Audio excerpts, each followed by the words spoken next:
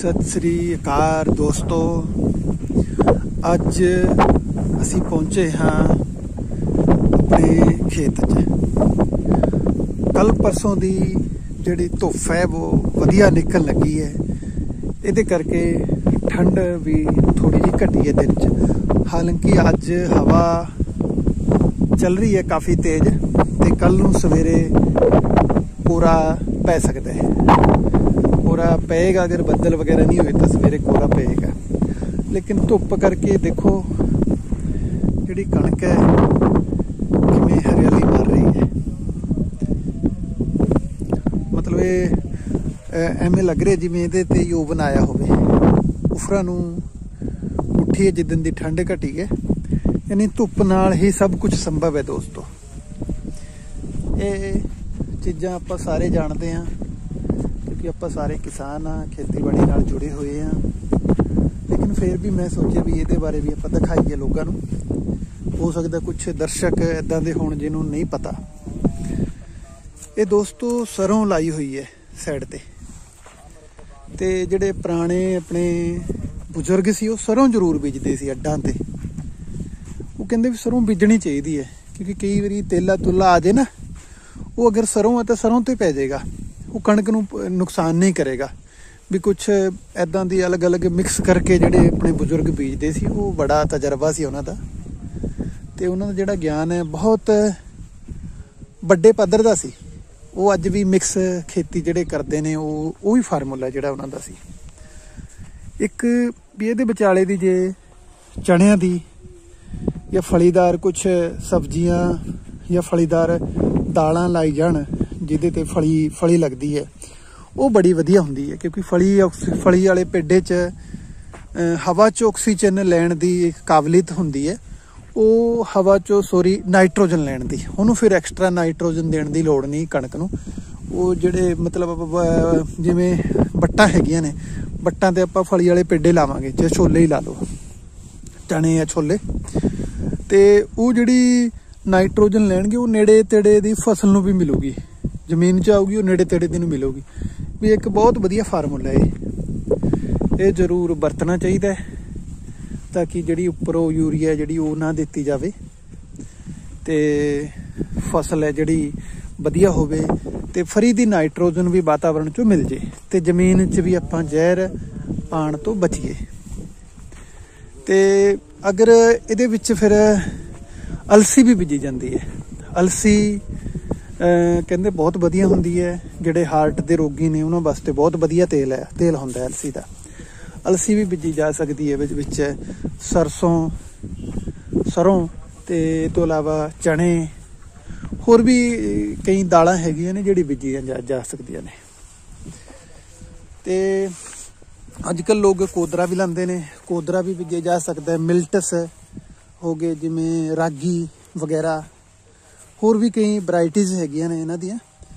ਤੇ ਅੱਜ ਕੱਲ ਜਿਹੜੇ ਕੁਝ ਡਾਕਟਰ ਨੇ, ਜਿਵੇਂ ਡਾਕਟਰ ਖਾਦਰ ਵਲੀ ਜੀ, ਉਹ ਕੈਂਸਰ ਤੱਕ ਦਾ ਇਲਾਜ ਖਾਣ ਪੀਣ ਨਾਲ ਕਰਦੇ ਨੇ। ਵੀ ਜੇ ਆਪਾਂ ਆਪਣਾ ਖਾਣਾ ਪੀਣਾ ਵਧੀਆ ਬਣਾ ਲਈਏ, ਤਾਂ ਆਪਾਂ ਨੂੰ ਦਵਾਈਆਂ ਦੀ ਲੋੜ ਹੀ ਨਾ ਪਵੇ। ਜੇ ਮੜੀ ਮੋਟੀ ਪ੍ਰੋਬਲਮ ਹੈ, ਤਾਂ ਉਹ ਵੈਸੇ ਹੀ ਠੀਕ ਹੋ ਜੇ। ਇਹ ਉਹਨਾਂ ਦਾ ਫਾਰਮੂਲਾ ਹੈ। ਉਹ ਕਹਿੰਦੇ ਨੇ ਮਿਲਟਸ ਤੇ ਜ਼ੋਰ ਦਿੰਦੇ ਨੇ। ਰਾਗੀ ਹੋ ਗਿਆ, ਕੋਦਰਾ ਕੰਗਣੀ ਵਗੈਰਾ, ਤੇ ਇਹ ਤੋਂ ਇਲਾਵਾ ਜਵਾਰ, ਮੱਕੀ, ਬਾਜਰਾ ਐਦਾਂ ਦੀ ਕਾਫੀ ਸਾਰੀ ਚੀਜ਼ਾਂ ਹੈਗੀਆਂ ਨੇ ਜਿਨ੍ਹਾਂ ਨੂੰ ਤਰਜੀਹ ਦਿੰਦੇ ਨੇ ਬੀਜਣ ਤੇ। ਉਹ ਕਹਿੰਦੇ ਨੇ ਵੀ ਅਗਰ ਤੁਸੀਂ ਇਹ ਖਾਓਗੇ ਤਾਂ ਇਹਦੇ ਨਾਲ ਸਰੀਰ, ਸਿਹਤ ਹੈ ਜਿਹੜੀ ਤੁਹਾਡੀ ਵਧੀਆ ਰਹੇਗੀ ਔਰ ਕੋਈ ਬਿਮਾਰੀ ਨਹੀਂ ਹੋਊਗੀ। ਵੀ ਸ਼ੂਗਰ ਵਰਗੀ ਬਿਮਾਰੀਆਂ ਨੇ ਜਿਹੜੀਆਂ, ਉਹਨਾਂ ਦਾ ਕਾਰਨ ਹੈ ਕਣਕ। ਕਿਉਂਕਿ ਕਣਕ 'ਚ ਗਲੂਕੋਜ਼ ਜ਼ਿਆਦਾ ਹੁੰਦਾ ਹੈ। ਗਲੂਕੋਜ਼ ਜ਼ਿਆਦਾ ਹੋਣ ਕਰਕੇ ਫਿਰ ਉਹ ਸ਼ੂਗਰ ਦਾ ਇੱਕ ਵੱਡਾ ਕਾਰਨ ਕਣਕ ਬਣਦੀ ਹੈ। ਹੋਰ ਵੀ ਕਾਰਨ ਹੈਗੇ ਨੇ ਸ਼ੂਗਰ ਦੇ ਕੱਲਾ ਕਣਕ ਨਹੀਂ, ਲੇਕਿਨ ਕਣਕ ਵੀ ਸਾਰੇ ਕਾਰਨਾਂ ਵਿੱਚੋਂ ਇੱਕ ਕਾਰਨ ਹੈ। ਤੇ ਇਹ ਆਪਾਂ ਤੁਹਾਨੂੰ ਦਿਖਾ ਰਹੇ ਹਾਂ। ਇਹ ਦੋਸਤੋ, ਇਹ ਪ- ਪੇਡੇ ਨੇ ਬਹੁਤ ਪੁਰਾਣੇ। ਇਹ ਜਿਹੜੀ ਬੇਰੀ ਹੈ, ਇਹ ਮਤਲਬ ਥੋੜੀ ਜਿਹੀ ਨਜ਼ਰ ਆਉਂਦੀ ਹੈ। ਇਹ ਲਗਭਗ ਵੀ ਮੇਰਾ ਡੈਡੀ ਵੀ ਦੱਸਦਾ ਹੁੰਦਾ ਸੀ ਵੀ ਛੋਟਾ ਜਿਹਾ ਸੀ। ਉਦੋਂ ਤੋਂ ਦੇਖਦੇ ਆ ਬੇੜੀ ਦੀ ਬੇਰੀ ਨੂੰ। ਹਲਕੀ ਹੁਣ ਉਹ ਜ਼ਿਆਦਾ ਨਹੀਂ ਰਹੀ ਕਿਉਂਕਿ ਆਸ-ਪਾਸ ਪਿੱਪਲ ਆ, ਜਿਹੜਾ ਪਿੱਪਲਾਂ ਨੇ ਉਹਨੂੰ ਕਵਰ ਕਰ ਲਿਆ। ਤੇ ਇੱਥੇ 8-10 ਪੇਡੇ ਖੜੇ ਹੋਏ ਨੇ। ਇਹ ਰੱਖੇ ਹੋਏ ਨੇ ਵੀ ਚਲੋ ਯਾਰ ਵਧੀਆ ਹੈ, ਰੁੱਖ ਲਾਣੇ ਚਾਹੀਦੇ ਨੇ। ਤੇ ਇਹਦੇ ਤੇ ਕਾਫੀ ਸਾਰੇ ਜਿਹੜੇ ਪੰਛੀ ਨੇ, ਆਪਣਾ ਬਸੇਰਾ ਬਣਾਉਂਦੇ ਨੇ। ਕਾਫੀ ਸਾਰੇ ਪੰਛੀ ਰਹਿੰਦੇ ਨੇ ਇਹਦੇ 'ਚ। ਬੁਗਲੇ ਵਗੈਰਾ, ਹੋਰ ਵੀ ਕੁਝ ਉੱਲੂ ਵਗੈਰਾ, ਹੋਰ ਵੀ ਜਿਹੜੇ ਹੁੰਦੇ ਨੇ, ਰਾਤ ਵਾਲੇ ਪੰਛੀ ਹੁੰਦੇ ਨੇ, ਦਿਨ ਵਾਲੇ ਹੁੰਦੇ ਨੇ। ਤੇ ਨਿੰਬ, ਇਹ ਵੀ ਬਹੁਤ ਪੁਰਾਣਾ, ਮੈਂ ਛੋਟਾ ਜਿਹਾ ਹੁੰਦਾ ਸੀ ਉਦੋਂ ਦਾ ਹੈ ਇਹ। ਇਹ ਜਿਹੜੇ ਆਪਣੇ ਪੁਰਾਣੇ ਬਜ਼ੁਰਗ ਹੁੰਦੇ ਨੇ, ਉਹਨਾਂ ਦਾ ਇੱਕ ਸਥਾਨ ਬਣਾਇਆ ਹੁੰਦਾ ਹੈ। ਪਹਿਲਾਂ ਇਹ ਸਾਰੇ ਹੁੰਦਾ ਸੀ, ਲੇਕਿਨ ਹੁਣ ਥੋੜਾ ਜਿਹਾ ਸ਼ਾਇਦ ਪੰਜਾਬ 'ਚ ਨਾ ਹੋਵੇ, ਲੇਕਿਨ ਹੁੰਦਾ ਸੀ ਇਹ।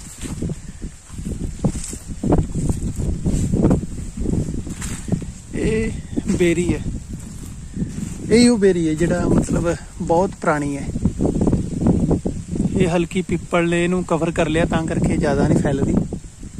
ਲੇਕਿਨ ਵਿੱਚ ਵਿੱਚ ਹਰੀ ਹੈ। ਕਿ ਇਹ ਇਹ ਪਿੱਪਲ ਨੇ, ਪਿੱਪਲ ਵੀ ਆਪੇ ਜੰਮੇ ਨੇ। ਇਹ ਪਿੱਪਲ ਜਦੋਂ ਮਤਲਬ ਅਸੀਂ ਛੋਟੇ ਦੇ ਹੁੰਦੇ ਸੀ, ਉਦੋਂ ਦੇ ਸੀ, ਆਪਣੇ ਆਪ ਪੈਦਾ ਹੋਏ ਸੀ। ਇਹ ਨਸੂੜਾ ਹੈਗਾ, ਪੁਰਾਣਾ ਜਿਹੜਾ ਰਵਾਇਤੀ ਪੇਡੇ ਹੈਗੇ ਨੇ ਆਪਣੇ ਪੰਜਾਬ ਦੇ। ਇਹ ਰਾਤ ਦੀ ਰਾਣੀ ਕਹਿੰਦੇ ਨੇ ਇਹਦੇ ਫੁੱਲ ਲੱਗਦੇ ਨੇ, ਇਹ ਲਾਏ ਹੋਏ ਆ ਇੱਥੇ।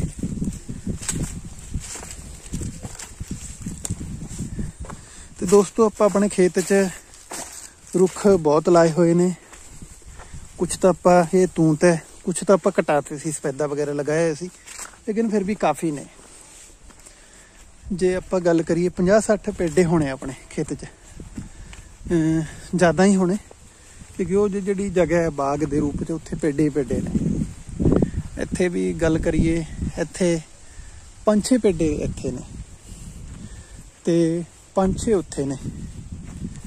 ਤਿੰਨ ਚਾਰ ਇੱਧਰ, ਮਤਲਬ ਕਾਫੀ ਪੇਡੇ ਹੈਗੇ ਨੇ 50 60 ਪੇਡੇ ਹੈਗੇ ਨੇ ਆਪਣੇ ਖੇਤ 'ਚ। ਤੇ ਦੋਸਤੋ ਐਂਡ 'ਚ ਇਹ ਵੀ ਆਪਾਂ ਵੀ ਇਸ ਤਰੀਕੇ ਨਾਲ ਖੇਤੀ ਕਰੀਏ ਮਿਕਸ ਖੇਤੀ ਕਰੀਏ ਤੇ ਆਪਣੇ ਖੇਤ 'ਚ ਰੁੱਖ ਜ਼ਰੂਰ ਲਾਈਏ। ਕੁਝ ਐਦਾਂ ਦੇ ਰੁੱਖ ਆਪਾਂ ਲਾ ਸਕਦੇ ਜਿਹੜੇ ਫਸਲ ਦਾ ਨੁਕਸਾਨ ਨਹੀਂ ਕਰਦੇ, ਜਿਹੜੇ ਫਾਇਦਾ ਕਰਦੇ ਨੇ। ਜਿਵੇਂ ਸੁਹਾਜਣਾ ਹੋ ਗਿਆ ਤੇ ਹੋਰ ਵੀ ਜਿਵੇਂ ਸ਼ਹਿਤੂਤ ਹੈ, ਜਾਮਣ ਜਾਮਣ ਵੀ ਵਧੀਆ ਹੈ ਜਾਮਣ ਦੀ ਕਾਫੀ ਸਾਰੀ ਅੱਛੀ ਫਸਲ ਹੁੰਦੀ ਹੈ ਤੇ ਸੁਹਾਜਣਾ ਬਹੁਤ ਵਧੀਆ ਇਹ ਜ਼ਰੂਰ ਲਾਣੇ ਚਾਹੀਦੇ ਨੇ ਕੁਝ ਪੇਡੇ ਠੀਕ ਹੈ ਦੋਸਤੋ, ਧੰਨਵਾਦ ਤੁਹਾਡਾ। ਤੇ ਜੇ ਵੀਡੀਓ ਵਧੀਆ ਲੱਗੇ, ਇਹਨੂੰ ਸ਼ੇਅਰ ਜ਼ਰੂਰ ਕਰਿਓ।